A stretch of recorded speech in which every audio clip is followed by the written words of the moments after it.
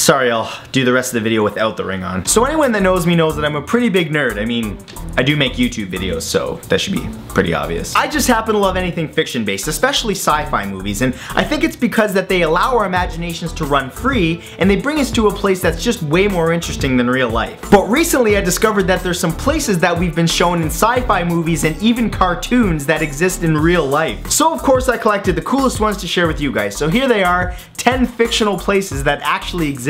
Number one is the Ewok Village. Star Wars fans get ready for a major nerd boner. The famous Ewok Village from Return of the Jedi actually exists and it's located in Costa Rica, uh, minus the Ewoks. This treetop community is called Finca Bella Vista and spans 300 acres of rainforest. It's connected by wooden bridges and zip lines just like in the movie. Man, it is amazing where George Lucas got all the inspiration for Return of the Jedi. Like Jabba the Hutt, Toronto Mayor Rob Ford, Okay, I know that timeline doesn't work, but it doesn't matter, smokes crack. Number two is the Flintstones house. Everyone and their mother knows about the classic cartoon The Flintstones, but what they might not know is that the house that they lived in actually exists in the real world. Located in Malibu, California, this $3.5 million bungalow used to be owned by Dick Clark and has an entirely stone-inspired look from top to bottom. Damn, this would be worth buying just for the pickup lines. You know, baby, I may not be Fred Flintstone, but I can still make your bedrock.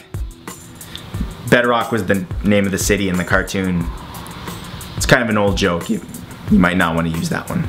Number three is Tatooine. There's a city in southern Tunisia that shares the same name as the planet that Luke Skywalker was raised on. But it's not just the name that they share, the local homes and businesses there were actually put in the Star Wars movies as external locations for the Lars homestead where Luke grew up. You might recall this location, well that is the Hotel Sidi Driss, a real hotel in Tunisia. And now that I've said that, if you listen closely you can hear the faint click of keyboards as nerds everywhere book their flights to Tunisia. Oh, well, I was going to bring you with me.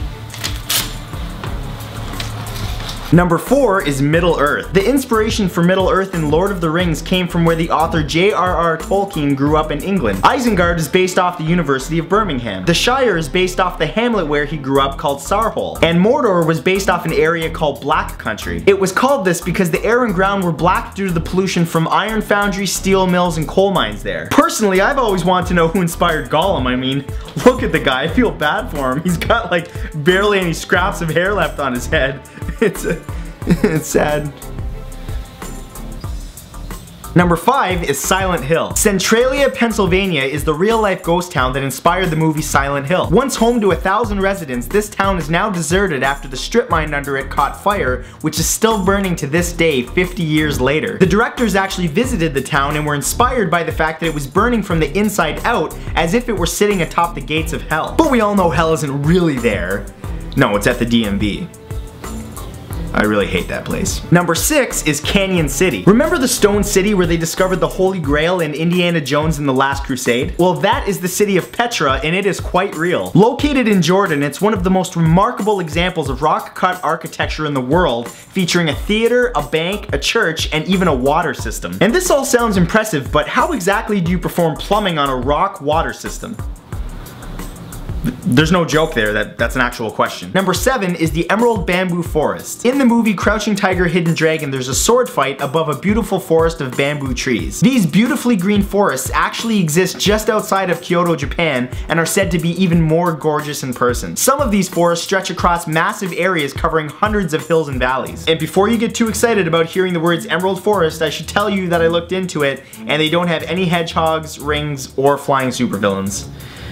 I know, I was disappointed too. Number 8 is Arkham Asylum. If there was ever a place in the real world that Batman would imprison the supervillains that he captures, it would be the Danvers State Hospital in Massachusetts. Built in 1874, it became the inspiration for Arkham Sanitarium in the fictional stories of H.P. Lovecraft, which in turn became the inspiration for Arkham Asylum in the Batman universe. The hospital bears a striking resemblance to Arkham Asylum, complete with ominous structures, long creepy tunnels, and decrepit patient quarters. It's too bad they never had a dentist on staff, or Batman could have made a quick stop off.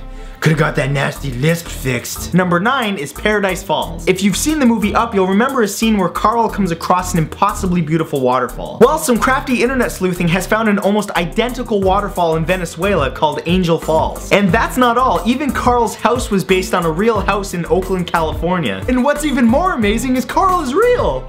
Look at him! Look at that old man! That's Carl!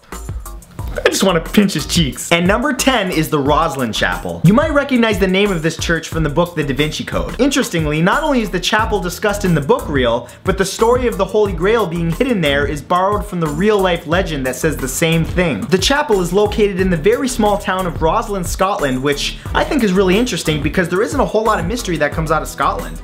I mean, especially with the kilts that the men wear. If you ever see one bend over, you'll understand why the attire doesn't leave any mystery jiggly bits everywhere. And that's it. I hope you guys enjoyed this video. If you want to add me to Facebook and Twitter, the links to those will be on screen and in the description along with all my other social networking sites. And other than that, I will see you guys next Saturday with a brand new video. Peace. Hey guys, thanks for watching my new video. If you enjoyed it, please remember to click the subscribe button to subscribe to my channel. I release a new video every Saturday. And while you're at it, click the like button and share this on Facebook, Twitter, whatever you want. It's all appreciated. And other than that, I think I know where my next vacation destination is going to be. I want to go to Costa Rica because not only do I get to see the Ewok village, but you know, it's warm, which is important because there's a lot of snow on the ground right now. And I live in Canada. It's so cold.